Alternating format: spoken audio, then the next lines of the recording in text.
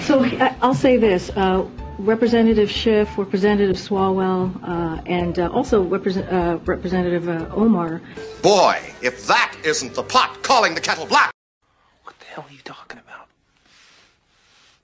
Our, um, you know, our expertise and bring a lot to the table when it comes to uh, foreign policy and national security. And we'll say this, uh, you know, uh, w- It could have fooled us. we'll say this, we'll say that, um, you know, when it comes to that committee, it should not be politicized. There, there's clearly some dementia. He's, he's not lucid. It's a disgusting habit. Uh, it should be independent.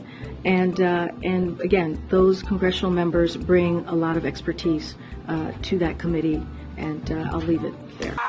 Oh my God!